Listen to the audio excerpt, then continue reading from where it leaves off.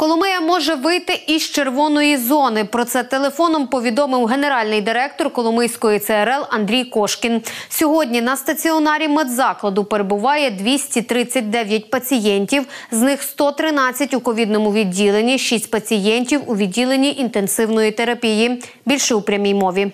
ПЛР позитивних на зараз є 25 пацієнтів, ПЛР негативних 19. Е, Очікує тестів 66 чоловік.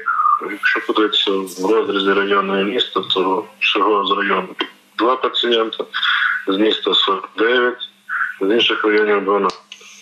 У нас зараз 113 чоловік, а на 105 ліжках у нас були такі е, часи, що нас лежали по 160 пацієнтів. Ну, відрадно, що спостерігається трошечки позитивна динаміка щодо зменшення кількості пацієнтів на ковід. Е, можливо, це нас дозволить вийти нам з червоної зони.